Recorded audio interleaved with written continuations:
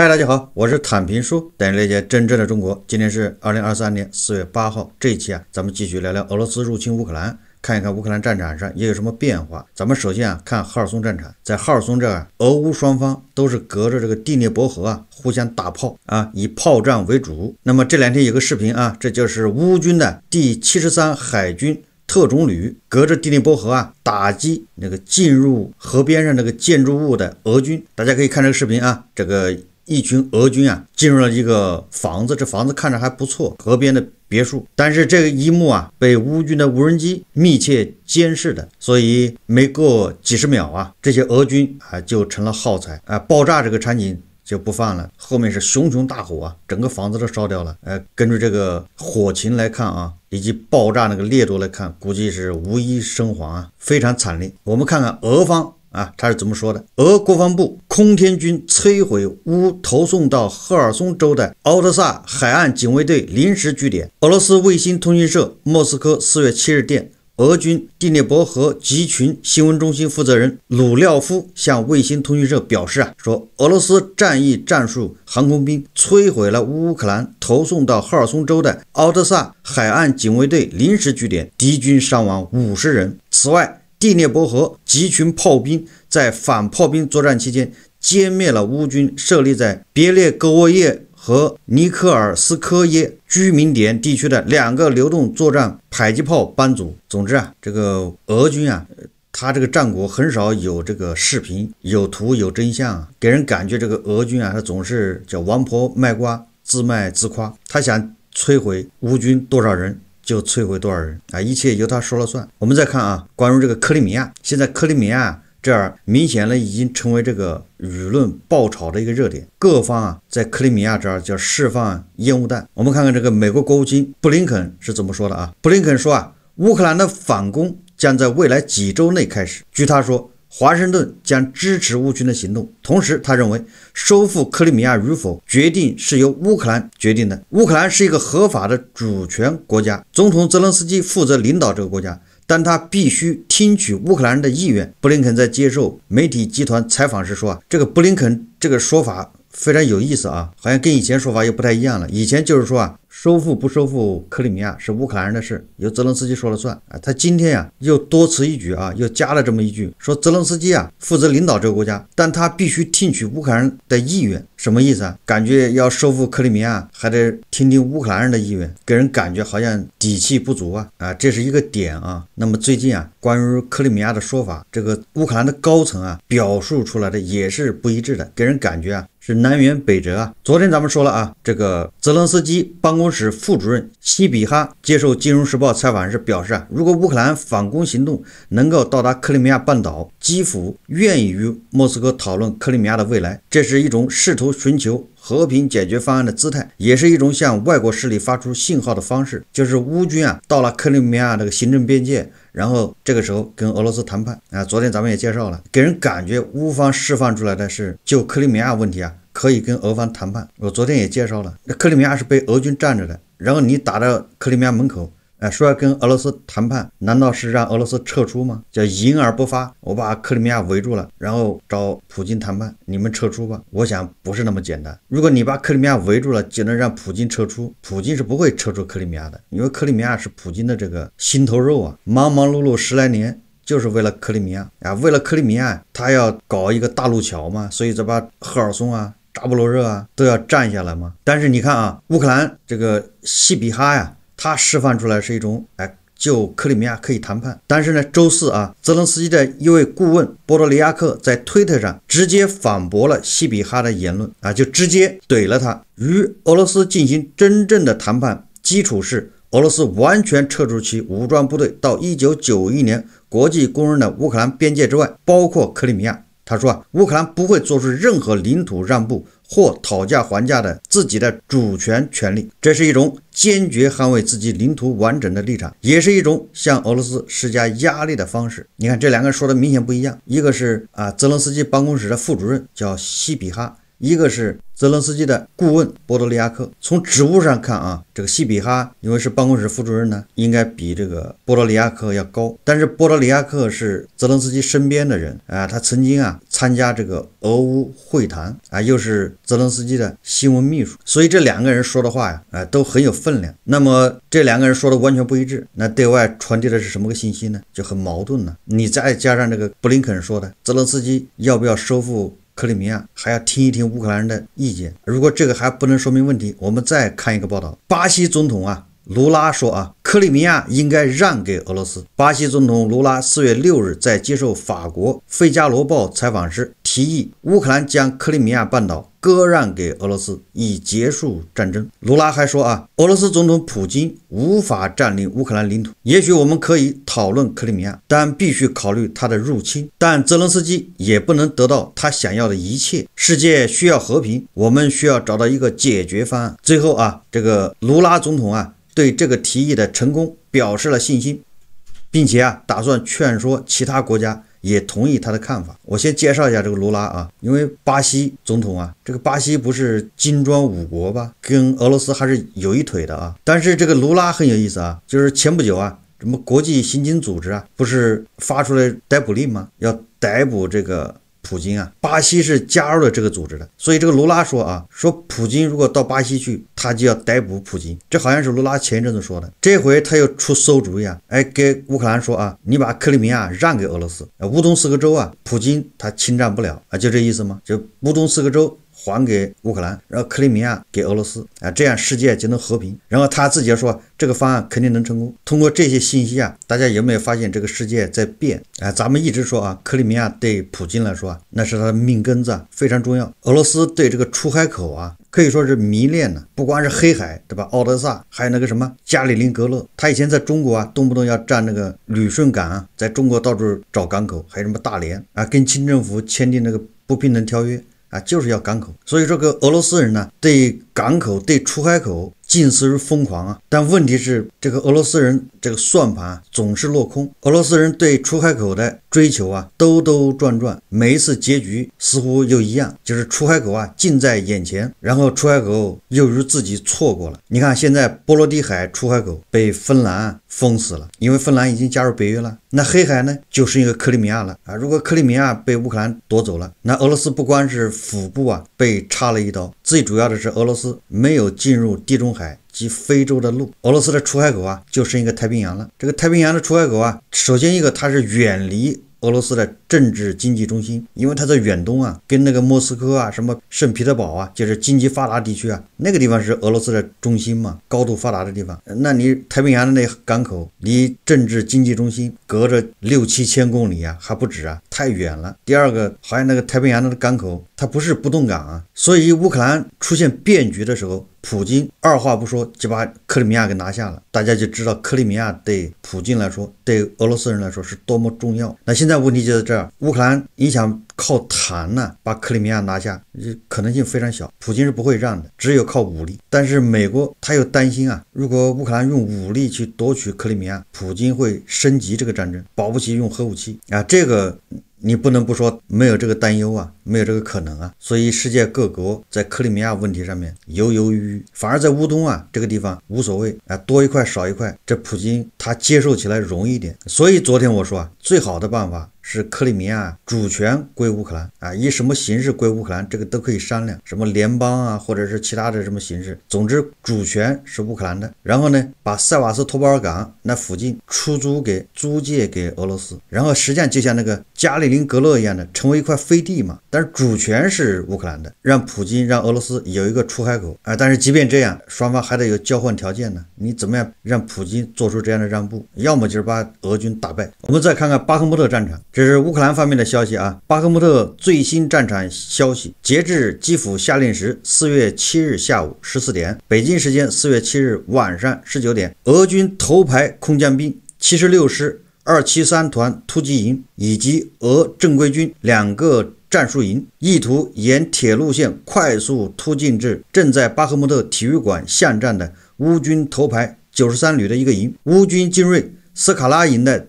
侧后，准备断其后路啊，然后全歼。不料俄军正在瓦格纳占领区克列谢耶夫卡集结时，突遭乌军远程神箭制导炮弹和海马斯钢雨火箭弹的大规模突袭。乌军战报称啊，俄军死伤惨重，导致俄军至今该股部队。未恢复进攻行动，应该是陈建制被摧毁。根据媒体报道啊，乌军为了守住零五零六公路和零五零四公路啊，为了打击这个瓦格纳雇佣军的这种战狼战术啊，乌军发射海马斯的钢雨火箭弹，对瓦格纳造成重大的陈建制伤亡，导致现在啊，瓦格纳在这半个月里面未能恢复其凶悍的屡战屡胜的战狼战术，这个人海。冲锋，那咱们以前介绍过，这钢雨一枚火箭弹里面是十八万颗钨合金这种特别细的钢珠啊，啊，它的杀伤力范围非常大，甚至连那种普通的啊装甲车，就是装甲稍微薄一点的，都能被它打通。所以对人员的杀伤非常厉害。大家可以看这个，这个就是卡索夫亚尔到巴赫穆特之间的乌军的生命通道。这条路上啊，都是损坏的皮卡车啊、小轿车啊，还有装甲车，甚至还有坦克。俄乌双方对这条公路的争夺啊，这是乌军的生命线呐，所以争夺非常激烈。四月七日晚上，乌军用海马斯打击了巴赫穆特的一栋建筑，里面住着一群瓦格纳恐怖分子。根据俄罗斯电报频道报告说啊，袭击。产生了高伤亡，就这次袭击对瓦格纳的打击啊非常大。大家可以看这个视频啊，这个就是乌军啊在巴赫穆特附近发动的局部反击啊，这是。步坦协同，乌军发动的这种有限度的啊这种反击啊，甚至一部分乌军已经夺回巴赫穆特中心区域的控制权。可以看到，乌军啊就在巴赫穆特市中心这个地方，相当于把瓦格纳又赶走了。乌军重新夺回了市中心。大家可以看这个视频啊，这个视频啊是俄乌双方的士兵啊都在自己的战壕里面。这个战壕啊，据说啊只有二十米，就是俄乌双方的战壕啊相距只有二十米。面对面，然后那个乌军啊，他发射这个榴弹之前啊，他这个是个榴弹，然后通过他的这个摄像机啊，记录了下了一段跟俄军的对话，就是对面的俄军啊，然后这个乌军啊就喊对面俄军说啊答应回答呀，说怎么了？然后乌军问呢，说你叫什么名字？对面的俄军说啊我叫瓦莎，然后乌军说啊去死吧瓦莎，然后这个榴弹就发射出去了，最后那边就没动静了，双方战壕。隔着只有二三十米，喊话呀，听得清清楚楚的。就从这个就可以看出，在巴赫穆特战场打得多惨烈啊！双方就抵在鼻子底下打。四月七号，在马林卡地区，乌克兰军队使用一门高射炮击落了一架正在空袭其阵地的俄罗斯空天军的一架苏二五战机。根据那个视频显示啊。那个飞行员呢，应该是弹射成功了，但是飞机坠毁了，引起了大火啊。关于巴赫穆特之战，这个乌方的武装部队克里沃诺斯将军。他有不同的看法。克里沃诺斯将军说：“啊，巴赫穆特是一个绞肉机，留着它没有意义。他几周前就应该被移交。”在此之前，乌克兰安全委员会前副秘书克里沃斯诺将军说：“啊，我早在二月初就说过，留下巴赫穆特没有意义，因为巴赫穆特是个绞肉机。”他哀叹道：“在争夺这座城市的战斗中，俄罗斯部队保住了自己的人员。”而乌克兰武装部队失去了最优秀的战士。实际上，根据泽连斯基在波兰说的啊，如果巴赫穆特的乌军啊有被包围的危险的话，那么他就授权呢这个最高指挥叫希尔斯基啊，可以撤出巴赫穆特。我们再看看这个瓦格纳的头子普里戈金啊啊，最近又在做什么啊？普里戈金他对记者说啊，说我们国家啊有很多人想干掉我，也许我会被清除，或者。我还会继续活下去啊！这一切啊都是上帝的对的旨意。然后我办公室外的建筑物有三百至四百米的距离，是理想的狙击位，随便一个正常的狙击手就能做到。谁需要来吧？我感觉啊，这个普里戈金是在向普京叫板呢。因为搞暗杀这事，普京熟啊，普京拿手啊。但问题是，普京要暗杀，要除掉普里戈金的话，他一般的不选枪啊，他是选择下毒啊。根据这个英。英国的情报部门称啊，说俄罗斯正积极寻找新的合作者，组建一支新的私人军事雇佣军集团，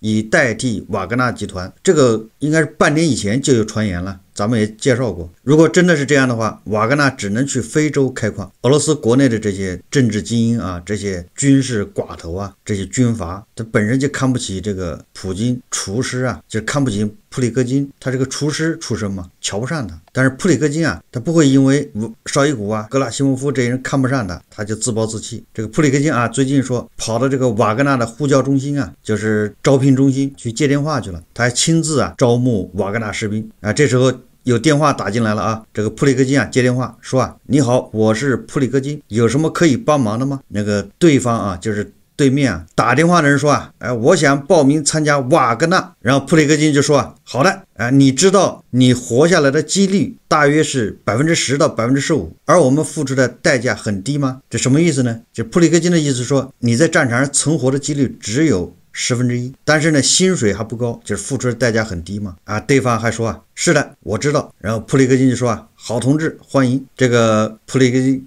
可能是自导自演的啊，一个征兵的招募瓦格纳战士的一个宣传片啊，我是推测的，有可能啊，很有意思啊。其实咱们应该想一想，这个普里戈金他真的就是个厨师啊，人家有没有上过军校？然后他带领着这个瓦格纳士兵啊。他居然打得比俄罗斯正规军打得还好一点，像模像样啊！虽然咱们老是寒碜他，但是毕竟人家把巴赫穆特呃占的越来越多了，现在百分之八十几都是瓦格纳占下了。所以说你不能怀疑这个普里戈金啊，他有过人之处啊，至少他情商非常高啊。他把那个乌克兰的那些士兵的遗体啊啊用棺材装好，然后让卡车啊。把他们送到乌克兰那边，他比较尊重对手啊。第二个，这个普里克金从来不吝惜自己的赞美之词啊，就是对乌军，他经常夸奖。夸赞这个乌军，赞美对手。普里克金只是不懂啊，俄罗斯这个官场的一些规则。但是普里克金啊，他应该看一看中国的《孙子兵法》呀，或者是啊古代的那些军事思想啊。什么叫狡兔死，走狗烹；飞鸟尽，良弓藏。一旦把巴赫穆特拿下之后，这个瓦格纳基本上就走狗烹了。这是战场的一个情况。我们再看一看这个外交以及援助。四月七日，乌克兰总统泽连斯基在访问波兰期间啊，表示。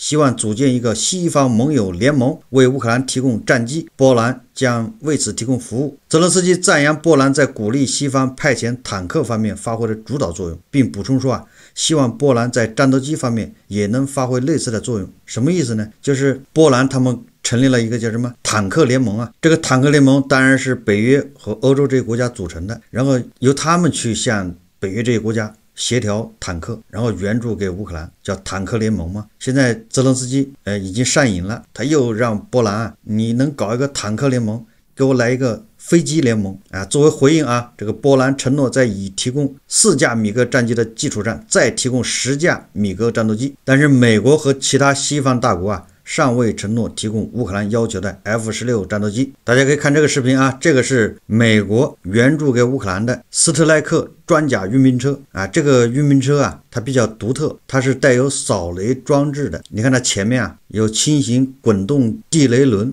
啊，这个就是开路的，走在最前面，对这个路上那个地雷啊进行排雷。这个是一月份的时候啊，美国援助给乌克兰二十辆这种排雷车。现在俄军啊在扎波罗热战场，现在就是。到处在撒地雷、埋地雷，就是要阻止乌军的装甲部队这个发起进攻啊！所以乌军就需要这样的防雷车。北约秘书长斯托尔滕贝格表示啊，北约已经开始着手制定计划，为乌克兰长期提供武器。据称，这一计划要长达十年。北约秘书长发声与北约各国的表态有所不同。德国此前称啊，不会再向乌克兰提供新的武器，而斯托尔滕贝格要再援助十年。从北约的目的来看啊。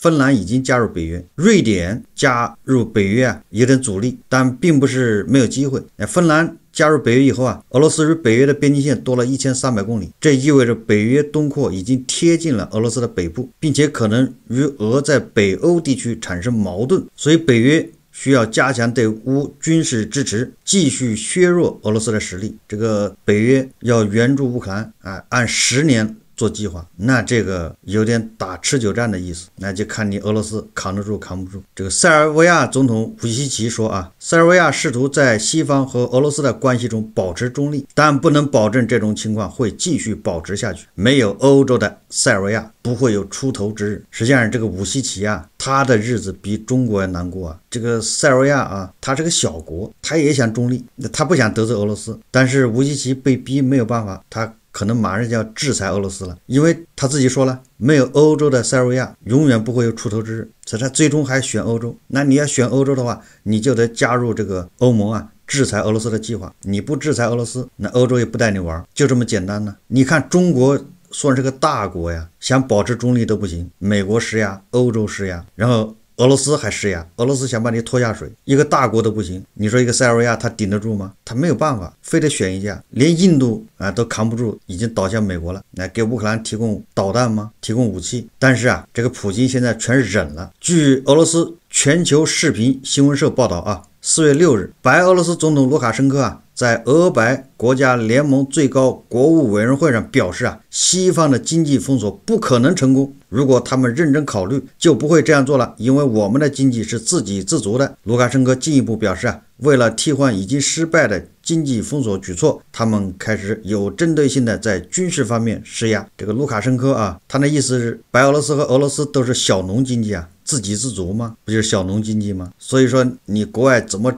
制裁没事儿，哎，大家想一想啊，这个鸦片战争之前啊，中国清朝啊末年啊，清末啊，那中国就是小农经济啊，自给自足啊，那不需要你国外任何东西的，你制裁不制裁没关系，你你国外的东西对中国来说都叫奇淫巧技啊，这不是乾隆说的吗？我们中华上国什么都有，物产丰富，应有尽有，不需要你那些什么中看不中用的东西，所以根本就不打算跟西方啊什么做生意啊，都不打算跟你做生意，你制裁有什么用啊？那就是小农经济嘛，自给自。足嘛，我什么都有。这个卢卡申科居然说这样的话，就说明俄罗斯和白俄罗斯要被打入农业社会啊，呃，自给自足。但是卢卡申科说啊，制裁没用。他这个话说的有一半是对的。为什么呢？大家看这个新闻啊，据英媒披露啊，自俄乌冲突爆发以来，一家注册在伦敦北部的某别墅的。英国企业已向俄罗斯出售了约十二亿美元的电子产品。据海关申报文件，这家公司发运的货物包括半导体、服务器、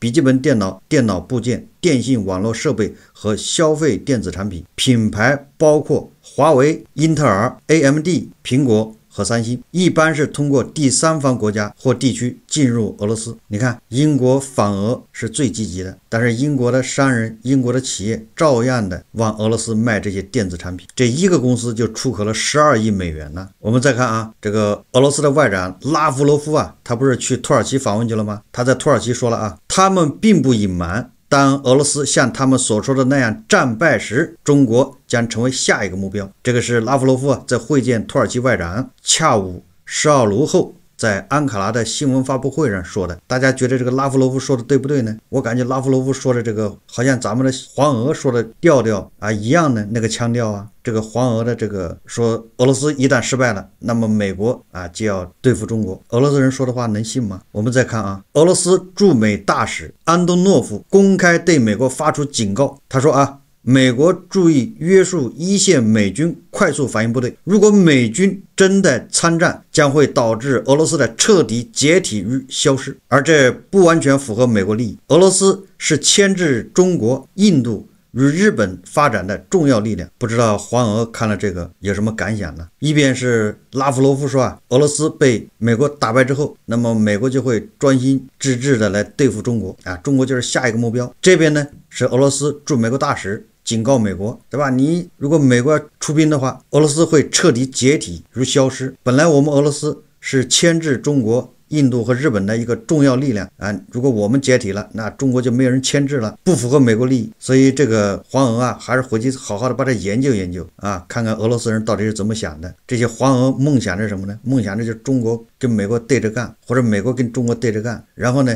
指着俄罗斯啊，帮助中国要联俄抗美。你看人家俄罗斯驻美大使安东诺夫怎么说的？是美国联俄抗中，不管谁联合谁啊，首先你自己要发展底线思维，就是自己要靠自己，整天要打这个要打那个，跟这个作对，跟那个作对，跟这个为敌，跟那个为敌，但是又打不过人家。还要拉上俄罗斯，你这何苦呢？就是挨打没够啊，刚吃上几年饱饭。作为一个中国人呢，应该提倡和平，要远离战争，要和平发展，要和平崛起啊！这是国家那么多文件啊，国家主席。天天念叨的就是这样的，要和平崛起啊，不是靠打仗的。我们再看啊，最近这个《纽约时报》啊，四月六号他报道了啊，说这个拜登政府高级官员表示啊，然后大概其美国和北约组织在乌克兰发动的这个俄罗斯的新攻势啊，什么武器援助啊等等啊，那个计划是解密了还是怎么回事啊？总之泄露了，然后到。媒体上了，社交媒体上啊，居然出现了这些机密的